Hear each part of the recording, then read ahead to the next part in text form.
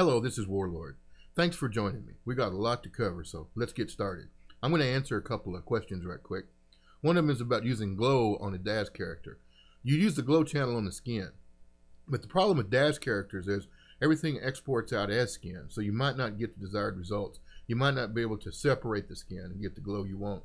Same kind of problem with iClone characters. They have uppers, lowers, shoes. You may or may not get the desired result.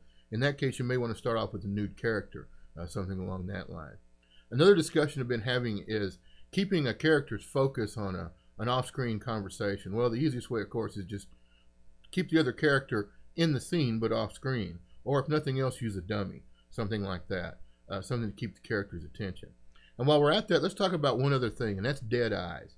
That's where you forget to tell the character to look at the, the camera and you really do need to look at the camera because it just doesn't seem right to carry on a conversation without me exactly having my eyes on you. I even have my monitor just right below the, the camera on the tripod, so it looks like I'm talking to you. So let's not run into the dead eyes problem. Try to remember to use the look at feature or use a dummy and look at, something like that, so your characters are a little more lively.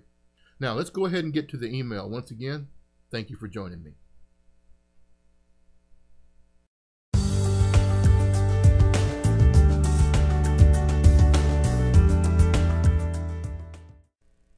This first email involves using props of different scale with characters. This can be quite troublesome for new animators. Now, the assets that I use in this are available for download. Just look in the description for the link. Let's go ahead and get started. Okay, we have a regular size character, an oversized prop, and an undersized prop. So let's go ahead and get started. First thing I want to do is go to this water column. It's something I built in Studio Max. All it does is have an animated UV that makes the water move up and down. And so what we're doing right now is I'm just positioning it. Now where it looks like it's changing sizes, that's just the way the glass is making it look right now. And so all I'm doing right now is just scaling it up. And eventually we'll get to where we just go straight up with it like that. Now you'll probably want to take more time than I'm doing with this right here. We're going to rotate it down. Just make sure that it fits in there good. Where it looks like we're a little bit short. Right there. Okay. Now let's go ahead and animate the water. We've got our water cylinder uh, selected, perform, default clip, and that's running way too fast for me, so as soon as it runs, finishes, now we're going to open up the timeline with that water cylinder selected. We're going to go into animation, we're going to make sure loop is not selected. And we're going to stretch this out as far as it'll go. Then we're going to loop it, even though we may not need all that animation. And now, yeah, that's a lot slower and that's a lot better. So let it run down a little bit. Now, let's say we want it to drain. That's built in, and all that actually is is a scale down.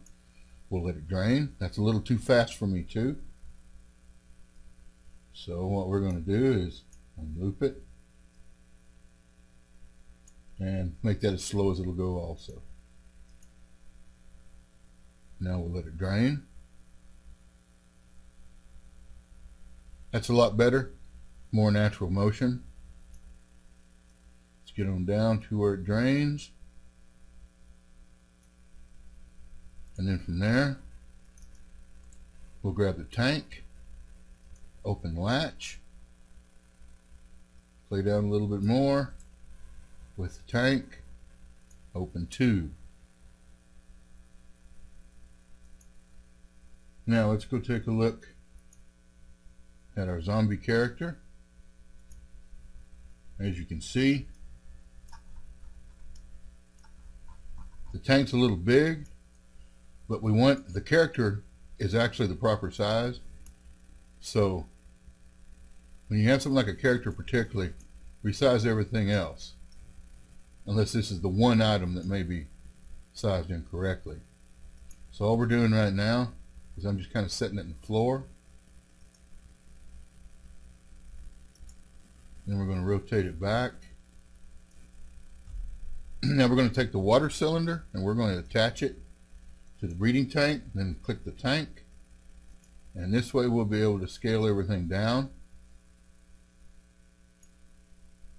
Let's go ahead and grab character, move it down,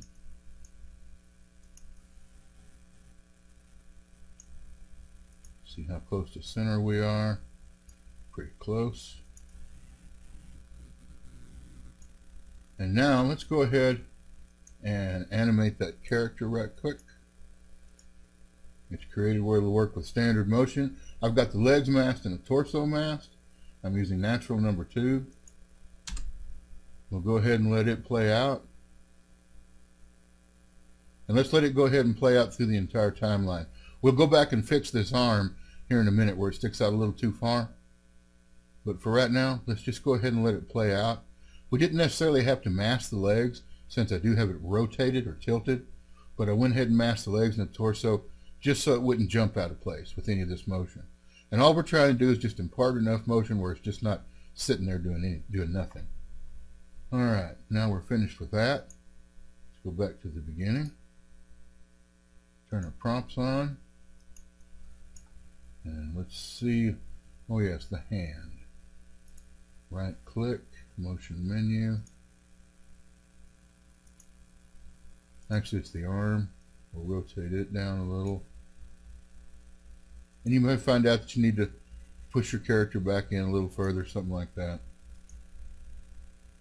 Now let's see what we've got. It should eventually drain, then the latch open, then the tube open. And all the while we've got a little bit of animation going on in there for the character.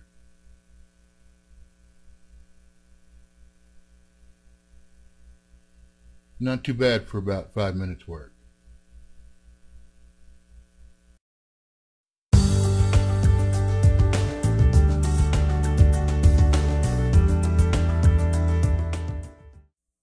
Next email question involves using a path, and when you attach things to a path, how difficult it is to manipulate them. Well, just like anything else that I pretty much do, we're going to use a dummy to solve that problem. So let's go ahead and take a look. Anybody that's ever used a path has found out that it's pretty frustrating to use the first time because you don't exactly have 100% control over what you have attached to it. But there is a simple way around that. Let's take like right now, if we were to go ahead and add a new camera, Let's go ahead and add the camera. Let's select that camera. On the first frame, we'll set it to the pathway. Now let's go ahead and set this to preview. And we'll set this one to camera. Let's go to the end. Last keyframe, pick path. We'll go to there. And the problem we have now is that's fine, but it's not pointing ahead. So we can always use follow path and then we have to find our axis. But as you can see, we're having a difficult time finding a proper axis. So really, you shouldn't even have to mess with any of that. Let's just go ahead and delete this camera. And just like anything else in animation, it's just a whole lot easier to use a dummy. So let's go ahead and let's bring in a block, set it as a dummy, We'll make it about 20% where we can see it. And we'll attach it to the path on the first frame. Go to the last frame. Attach it to the path at the end. Then you can tell it to follow path. Doesn't really matter at this point where your axis is. Now let's create a new camera. This can be any object too, not just a camera. We'll select our camera. And what we're going to do is we're just going to link it to the box. And then we'll position it at the box. Now, let me go back and change this back to preview. We'll change this to camera. Now we can go ahead and grab our camera and we're free to place our camera any way we wish. At any out any uh, orientation or anything like that.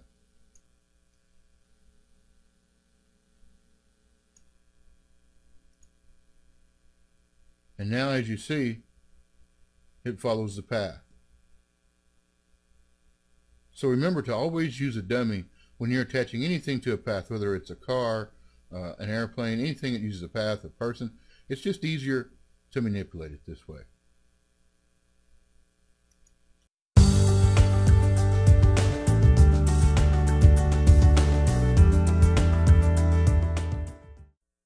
In our advanced segment, we're going to look at creating soft cloth in Studio Max. Specifically, we're going to look at creating the pinning points by using a mesh select modifier. Okay, this question involves creating pins for soft cloth. So we're in Studio Max 2014, and I'm just going to create a simple plane. And since we want to keep up with our polys, let's select one of the viewports, hit 7. We're at 32 polys. Now, that is not enough to make a smooth soft cloth. So we want to go into our modifier, and we want to change those segments from 4 by 4 to 12 by 12, at least. And now that's 288 polys. That's not too bad. Now we're ready to go ahead and add a mesh select. There's really not a whole lot to this. Open up the mesh select modifier, choose vertex. Now, let's say that I want this group right here, kind of down the center. Let's say that I want that to be one of the selection sets. All right, we come over here and we just call it whatever you want to name it. Pins, center. I'm going to call it center. Hit enter. I'm going to click off. Now let's say I want to do the corners. I'm going to select each corner. And you can select any number of vertices that you want. Come back in the selection set. I'm going to call it corners. Hit enter. Now we're finished as far as Studio Max is concerned. So now we're ready to go and export cloth. Now this is very important here. Make sure selection sets is checked. It's usually not checked by default. What you just created was a selection set, so make sure it's checked. Hit OK. Now we're ready to go into 3D Exchange. And open up the cloth. Now all we're going to do from here is just export it right back out. And you're just seeing me overwrite where I've done this before, just testing it. Now we're finished with that. We're going into Studio Max. Here's the cloth. I'm going to activate my physics. And then it's Alt-Shift-S. And as you can see, here's our pinning groups, center and corner. So we can activate the center. I'm sorry. I have to make sure active is clicked. And it'll hold. Now, we forgot to do one thing. You notice, you see the squares in there, how rough that is? I wanted you to see that. Let's delete that. Let's go back in here and select the mesh. This is in 3D Exchange. I've got to set it 180, which I think is the maximum. We're going to hit Auto Smooth. Now we're ready to go ahead and export it again. Just override it. Now let's go ahead and bring it back in. Activate our physics. And let's go ahead and set one of the pin groups as active. And you can see how much smoother it is. And one of the reasons that I pinned it down the center was you may want to put you may want to put it on a center pole or something like that. You can select any group or, or anything that you want like that. And we could go back. Of course, I haven't said it's double-sided, so you're seeing through it. I'm going to go back and activate the corner pinning. And there's your pinning.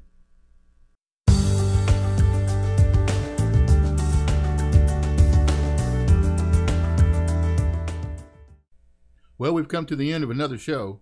I appreciate you joining me, and I hope that you'll join me again. And until next time, let's create and animate.